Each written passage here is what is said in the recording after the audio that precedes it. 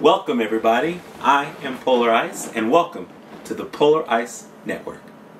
Today, we will be unboxing the Xbox Series X. Try saying that five times fast. Xbox Series X. Xbox Series X. So that's not that bad, actually.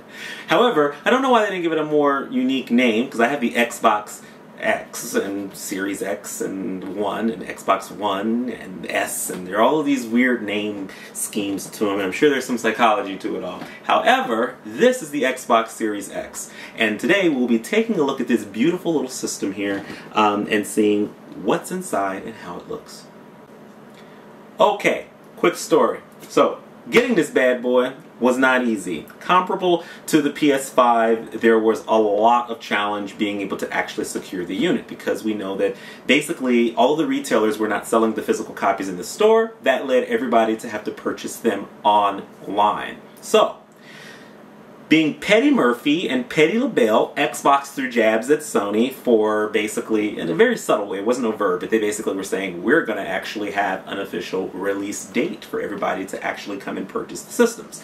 And as we know with the PS5, basically, uh, as soon as it was, you know, unveiled, uh, a lot of the retailers jump started selling the units and they sold out literally uh, within a, a, short period of time of them being unveiled for the first time, truly for the first time, the official, uh, and giving an official release date uh, through the Sony um, actual broadcast. And so um, everybody, as we know, was trying to get them, systems were crashing, etc., etc. Speed ahead a week later with the pre order of the Xbox Series X why do they call it the Xbox Series X? It makes me wonder. Like, I have the Xbox One X, um, there's the Xbox S, I think, or something like that, and this is the Xbox Series S, but there's also the Xbox S, Series S. It's just way too many. The, the, the, the, the naming scheme that these, some of these systems uses, I don't understand. However, it is the Xbox Series X. And so, on the release date when it came out, it was as equally challenging as the debacle that PS5 experienced crashed systems, everybody trying to get them, um, basically relentlessly trying to get it into my cart, almost had it, sold out, came back another batch of them, sold out, repeat, was able to finally get to the checkout, system crashes. Eventually, I'm able to get through um, and was able to secure a unit. So I'm very fortunate for that. And uh, for those of you who have not secured one, um, sorry, uh, but I do think that they will be releasing some more, hopefully before the end of the year. Um, but if not, hopefully, if you guys want to live vicariously through my experience, I invite you guys to come take a look and share in the fun. So this is the first time. This is the first time I've actually opened up this system um, or the box. So I want to do it live so that I can have that same energy and that same excitement that many of you may have and share it with each of you.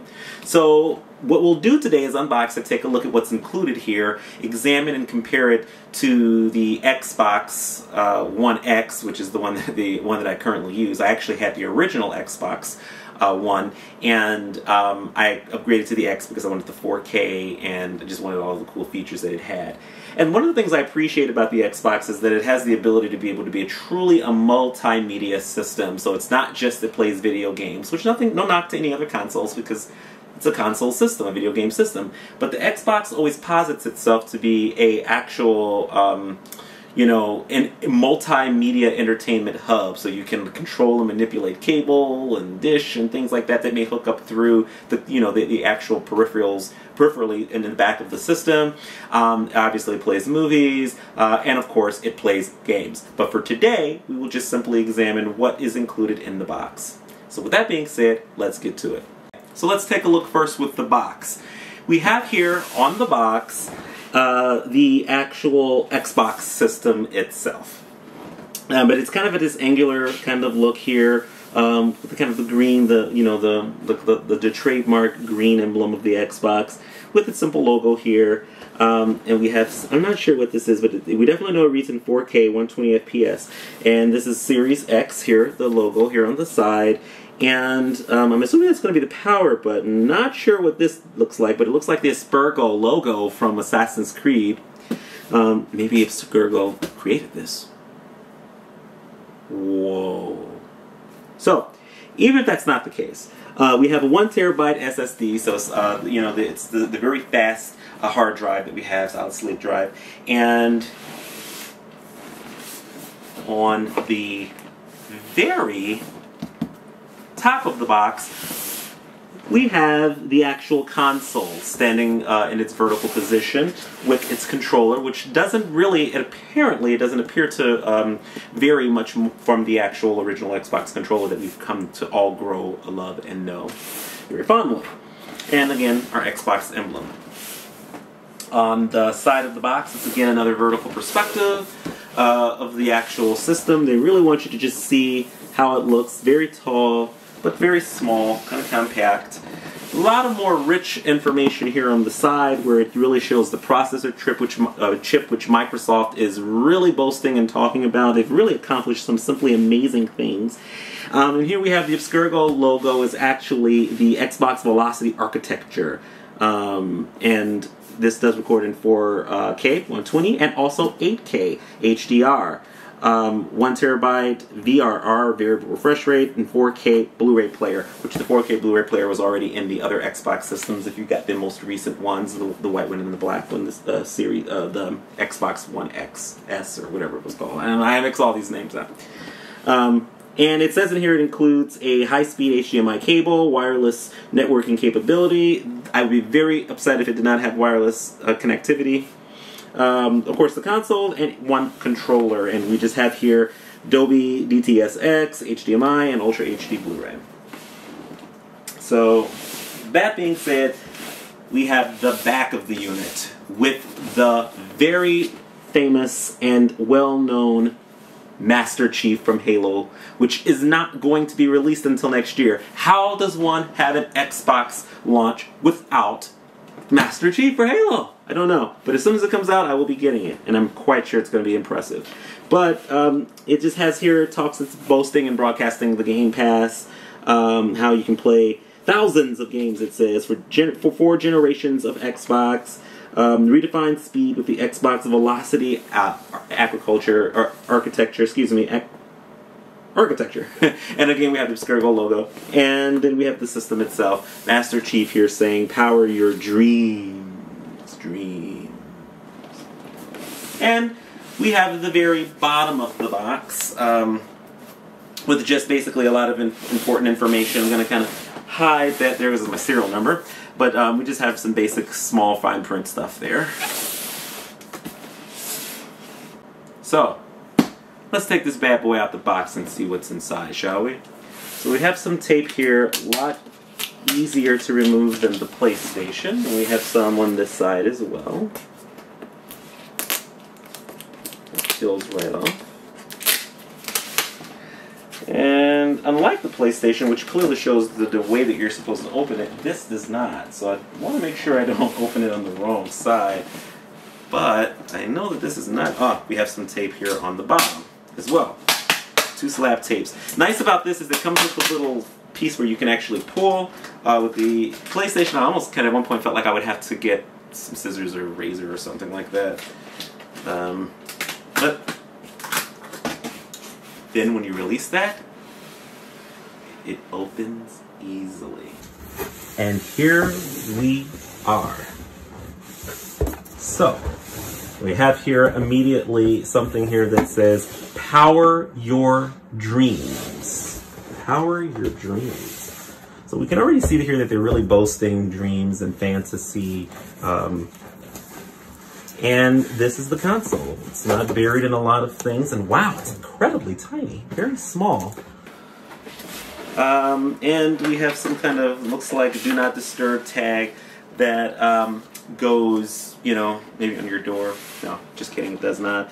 It doesn't even appear to have any instructions so far that we can see. So in the box, it's very bare. Um, or actually, no, there are some stuff in the back. I was going to say, where's the power cord and stuff? But we have here some styrofoam, you know, kind of cusp to hold the system in place.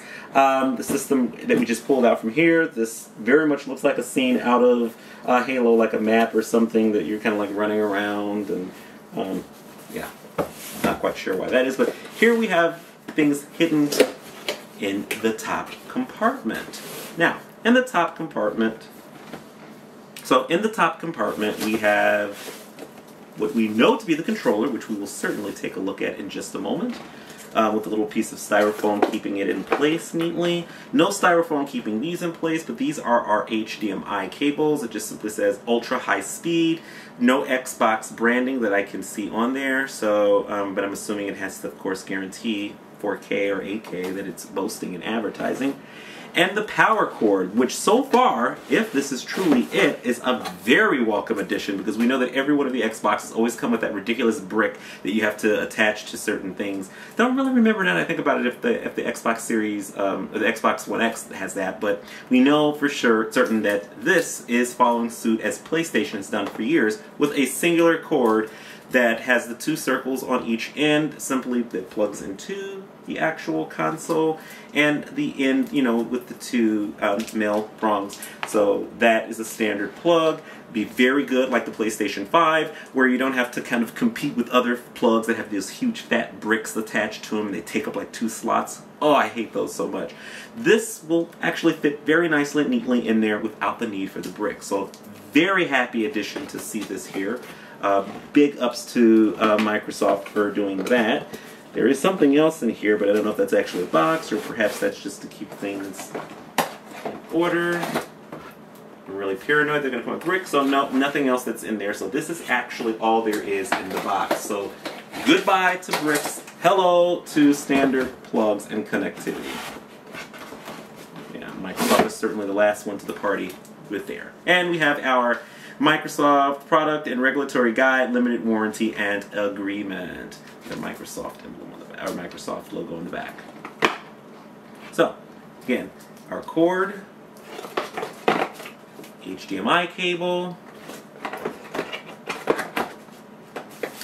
our controller, and our game. And we will get ready to examine both of those. But before we do, we would like to first take a look here at this card so the card looks like it just is a quick start guide. Uh, it tells us getting started. It talks about some of the areas on the actual console. Uh, I like this because it does kind of give you a, a, heads up on what things are. I did not find that on the PlayStation, though I think PlayStation pretty much keeps the same kind of you know idea order of things from system to system. It is nice to have a nice reminder here where everything is.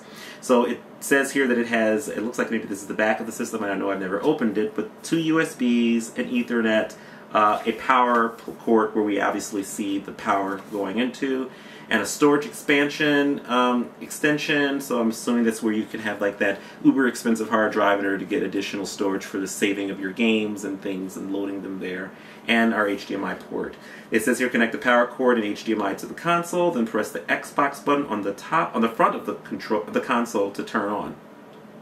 Um, and then it tells us to download the actual Xbox app, tap set up a console, or search for setup and then enter the code on the TV. Follow the steps in the Xbox app to finish setting up your code. So it's a nifty little instruction guide. And then we also have some additional support there.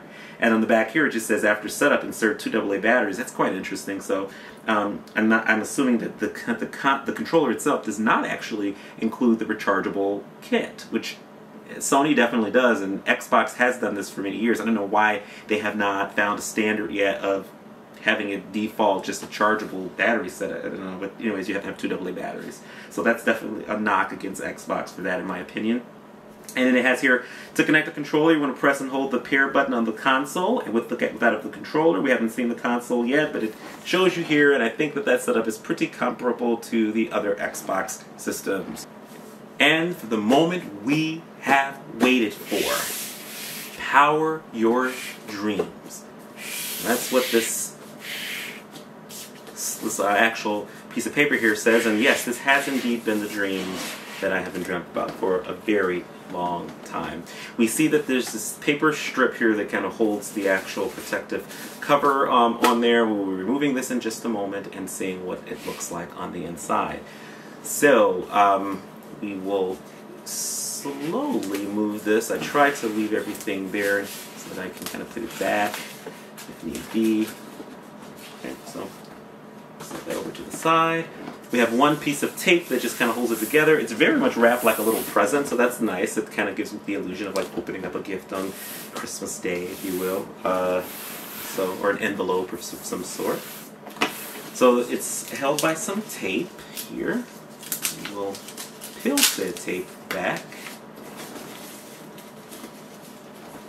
as you all know, I'm pretty particular when it comes to just making sure that things are kept in nice working order. So I'll let you boy if you want some stuff that I'm selling because it's all going to be in pristine condition, perfect like the day that I got it. I'm very anal about that. And here we are. The Xbox Series X.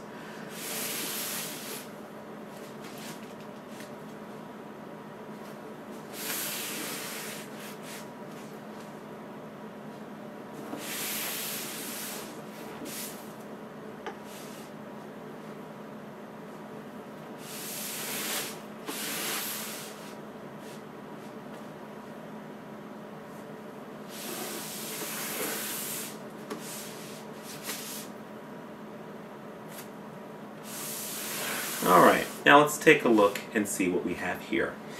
So, what we have here is the, and I will stand it up here in a moment, but just want to make sure that we get a nice um, view here um, of the kind of the top. Um, I was a little disappointed to see that. I always thought that when I saw this, these green holes would actually light up when the system came on, let you know that it was lit up, but it seems like that they're actually painted in, so um, that surprise is kind of destroyed, I guess, that dream. Um, but it's a very simple cube. It's it, it's actually there's it, it, it's I like it. It's simple. It's sleek. It's sexy. Um, I think that the PlayStation kind of actual design has a lot going on. It's just too much. It's very busy with all these slopes. I don't personally like it. I like the more modern, sleek look of a lot of the systems, and this executes it very well. Um, so it looks like a tower, kind of akin to I guess like the you know Alexa um, and you know the Apple Home Pod. Everything is kind of more vertical, so it has a more vertical uh, perspective, which is very interesting. And here again, we have the green um, kind of logo that's inside. It looks like it's part of it's painted in versus LED. And um, so let's first start kind of with the front of the actual system itself. Now, the front of the system we have here um, the uh, actual connector button to connect your controller, I'm assuming, and perhaps who knows what other peripherals, with one singular USB slot. We also have our um, uh, 4K uh, disc driver, so our CD-ROM or DVD-ROM drive, and I'm assuming to be the eject button and of the power button. That is it. So USB, connector, disc, uh, eject, and power button.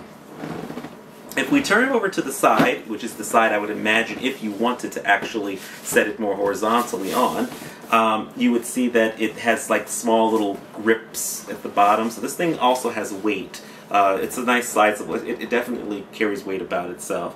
Uh, but we see the little matted uh, grips there, rubber grips, to make sure that there's no scratching of the actual system. So this is without a doubt the position that if you wanted to have it in a horizontal view, this is how it would look.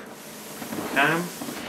We've already talked about the top, but let's talk about this bottom here that we have. So it's quite interesting. Um, so it looks like it's a stand for standing it up upright, but it's built already into the system, so you you don't have to really put or remove anything. It's kind of embedded there, and it looks fixated, like it's not going to come off. So it's a part of the actual system itself, the peripheral itself, the connector.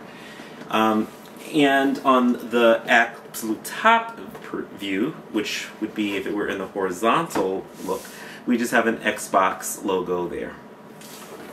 And now we will turn the console very gently onto its back. We will now take a look at the back. There's a lot of stuff going on here. So we again have the bit cover holes, um, and the storage expansion, which we talked about. Uh, we saw it actually in the um, quick start guide. Um, below the storage expansion, there's like these four dots, like this ridge. It almost felt like Braille, but I, I don't think that's it. It's just this kind of Xbox's obsession with these circles. Uh, and there's four of them directly below it. We have our HDMI out with one singular horizontal kind of feel uh, there. Uh, a slot for our AC adapter to plug into. Again, very nice to not have a brick and we have our Ethernet uh, or our, our, LAN connector with two uh, SS USB slots. Presumably, it has to be USB 3. I can imagine it would come out with a console uh, with a system that is not at least HDMI 3. Um, and we also see this kind of rectangular lock, which does indicate that this is to lock it with its name Xbox Series X on there. And also, I'm not really quite sure what this is, but it's some kind of a horizontal something. I, I'm not really quite sure. A vent of some sort. And that is it. Uh, there really isn't anything else to talk about about the system. It's straight down to business, straight, pretty, pretty straightforward. Um, and I'll again just kind of briefly review each one of those for you. So we have our front view here. Um, again, with our uh, disk drive for 4K movies or disc because I'm old school and I like disc, so I really did like that, that, that it did have the ability to just have it built in there. Um, the ejector button, a USB connector, presumably for the controller, but maybe some other peripherals that you can plug in through USB that may come out. Again, where it ejects, and our power plug. Um, on the side here, we don't have, well, on this side, we have the rubber grips to, to lay it down on the horizontal view, so it would ultimately sit as such. Um, we have on the very bottom of the unit the stand which is built in, and we have at the front where the circles, and we have here on the back the vent and the holes with all of the connectors that we have discussed. So um, more specifically, we can take a look here. We have our uh, two USB ports, uh, SS, um, presumably to be USB 3, a LAN connector, our AC adapter, expansion port, and our HDMI um, out uh, input there. Um, we also have the place to lock our system into place, vents for there to be breathing room, and that is the front, or the top of it again. Nothing on the side except the very simple Xbox emblem. And that is it. There's really nothing else to talk about about, you know, with this actual look. So that concludes our unboxing, guys. If you enjoyed this, please make sure that you like and subscribe to my channels, the Polar Ice Network. Um, you can find me on Facebook. You can also find me on the um, on YouTube um, and also on Twitch. So my handle is pretty much the same on all of the Polar Ice. Um, but the name of, of course, our gaming experience is the Polar Ice Network. It's a network of all kinds of awesome and amazing things we'll talk about. We'll be doing unboxings of all kinds of technology, especially video gaming. Uh, we will also be doing unboxings and reviews of technology. Of course, live stream gaming, gameplays, and also we'll have guests kind of talking about all things that are gaming and geeks and even more, kind of whatever you guys want to hear. So this is truly going to be a network for everyone and we, we're inclusive. We want everybody to join. I do ask that you guys give me some feedback because this is truly my first unboxing really ever done. So I know there were a lot of things that need to be improved upon. Um, and if you haven't checked out this video, um, also you know check out my uh, place. If, if, you enjoyed this video, check out my PlayStation 5 unboxing as well, which was done. Um, and we will you know again appreciate both of those experiences. Give me feedback on both things that you like, things that you didn't like um, things that make things more interesting, setup, etc. Um, but please be nice. Uh, we're all a loving community here. You know, it's all about gaming and fun, so don't be rude. Uh, give a brother a chance. It's his first time. And I hope that you enjoyed this. So, welcome, Xbox, to the family. You are going to be playing with your new brother, the PlayStation 5. You guys play nice. We will play, play, play, and we will have a great time. And with that, I am Polar Ice. This is the Polar Ice Network. Thank you for joining us. Take care. Peace.